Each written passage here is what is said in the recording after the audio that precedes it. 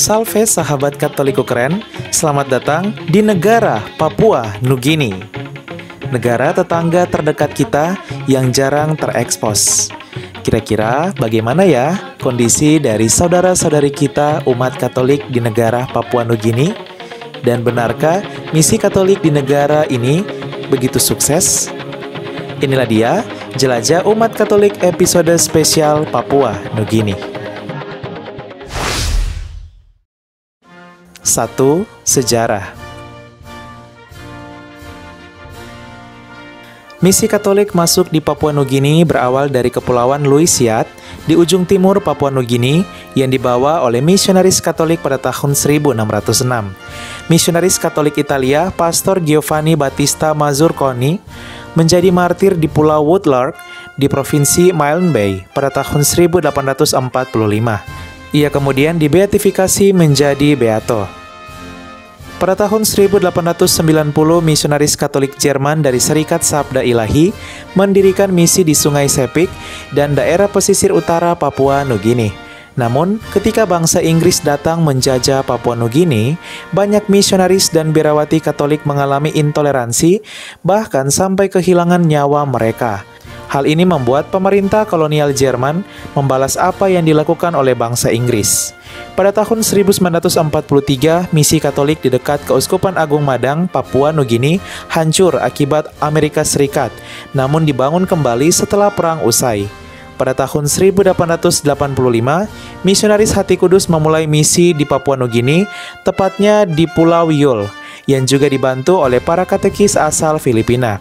Misi ini berhasil dan banyak penduduk asli Papua Nugini yang mengenal iman Katolik lalu memberi diri dibaptis. Pada tahun 1901, iman Katolik mulai menyebar luas di Papua Nugini ketika misionaris masuk ke wilayah Bougainville. Ketika misionaris masuk ke wilayah Bougainville, Misi di wilayah ini sangat berhasil. Banyak penduduk yang memberi diri dibaptis menjadi Katolik hingga menjadi salah satu wilayah mayoritas Katolik di Papua Nugini. Karya misionaris di Papua Nugini juga mendapat dukungan dari Amerika Serikat dan Australia. Kemudian, banyak sekolah Katolik mulai didirikan di Papua Nugini untuk membangun dan mencerdaskan sumber daya manusia. Pastor William Ross bersama beberapa misionaris juga menyebarkan iman Katolik di dataran tinggi Papua Nugini dan mendirikan misi di Gunung Hagen pada tahun 1934. Pada tahun 1995, Paus Yohanes Paulus II membeatifikasi Peter Torot, seorang katekis dan penduduk asli Papua Nugini. Ia menjadi martir pada tahun 1945 karena menolak untuk memeluk ajaran poligami dan menemui kemartirannya akibat pasukan pendudukan Jepang. Ketika itu juga banyak misionaris dan umat Katolik di Papua Nugini dipenjarakan, bahkan menjadi martir oleh tangan Jepang. Pada tahun 1967, dokter mata Australia yang juga adalah seorang imam, yaitu Pastor Frank Flyen, diangkat sebagai Direktur Pelayanan Kesehatan Katolik di Papua Nugini. Usahanya ini menghasilkan pendirian Fakultas Kedokteran di Universitas Papua Nugini. Para biarawati khususnya dari Kongregasi Putri Bunda Hati Kudus Papua Nugini juga sangat aktif dalam memberikan pelayanan kesehatan untuk masyarakat Papua Nugini. Rumah sakit Katolik berkembang hingga menjadi layanan kesehatan gereja Gereja Katolik Papua Nugini yang pada tahun 2016 telah mengelola 5 rumah sakit dan 244 fasilitas kesehatan. Pada tahun 1984 dan tahun 1995, Paus Yohanes Paulus II mengunjungi Papua Nugini dan meneguhkan iman umat di sana. Pada tahun 2016, Uskup Agung Port Moresby yaitu John Ribat diangkat menjadi kardinal dan ia menjadi kardinal pertama yang berasal dari negara Papua Nugini.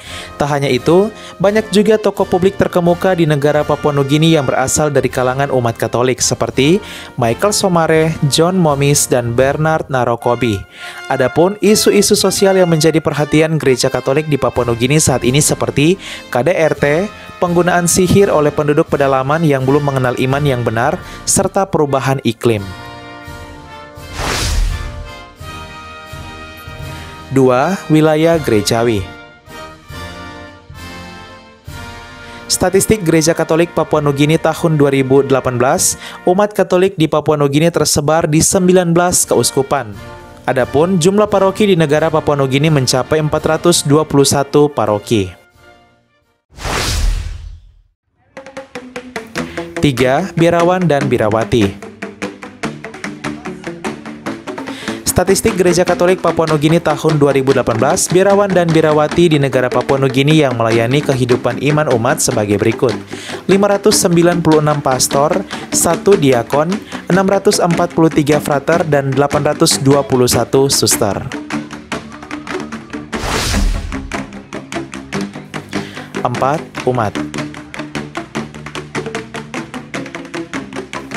Demografi agama dari penduduk Papua Nugini data langsung dari pemerintah tahun 2011 sebagai berikut. 67% dari penduduk Papua Nugini merupakan Protestan, 26% merupakan Katolik, 3% merupakan Anglikan, 3% tidak diketahui dan 1% agama lainnya. Kita masuk pada kekristenan di negara Papua Nugini. 96% dari penduduk Papua Nugini tahun 2011 merupakan umat Kristen. Dengan rincian, 26% merupakan anggota gereja Katolik, 18% merupakan anggota gereja Lutheran Injili di Papua Nugini, 13% merupakan gereja Advent Papua Nugini, 10% merupakan gereja Pentakostal Papua Nugini, 10% merupakan gereja Serikat di Papua Nugini, 5% merupakan gereja Persekutuan Injili Papua Nugini, Nugini, 3% merupakan gereja Anglikan Papua Nugini, 3% merupakan gereja Baptis Papua Nugini, dan 5% lainnya merupakan gereja denominasi Protestan lain. Adapun, gereja Katolik menjadi gereja kekristenan terbesar di Papua Nugini.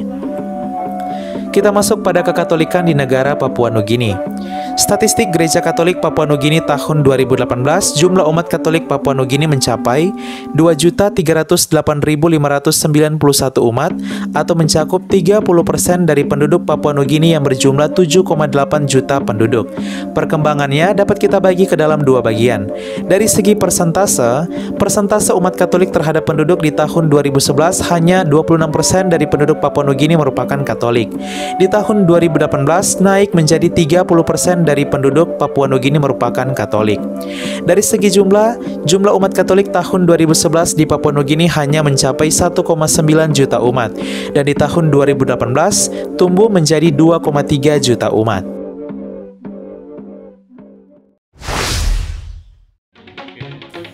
Lima Gedung Gereja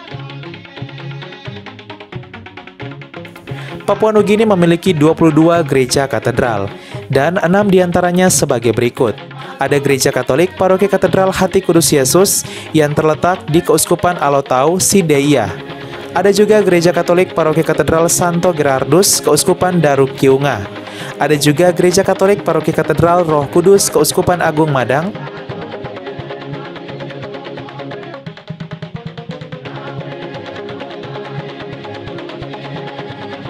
Ada juga Gereja Katolik Paroki Katedral Tritunggal Maha Kudus yang merupakan pusat dari Keuskupan Agung Gunung Hagen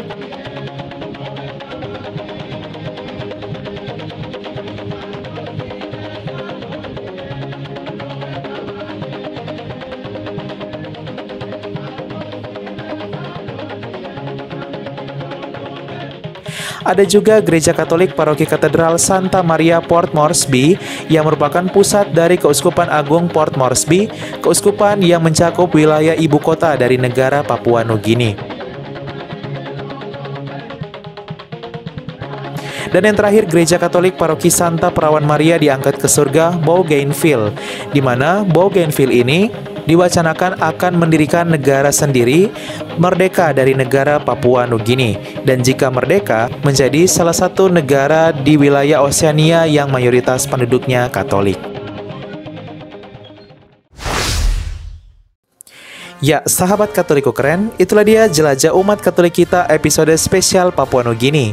Tetangga seiman terdekat kita yang jarang terekspos. Wow, luar biasa ya. Semoga misi Katolik terus maju di negara Papua Nugini dan iman umat Katolik Papua Nugini semakin mantap. Sekian dan terima kasih sampai jumpa di jelajah umat Katolik episode lainnya yang membuat kita semakin penasaran untuk mengetahuinya. Dan Ketika kita sudah mengetahuinya, maka kita akan berkata, Katoliku memang keren. Salve!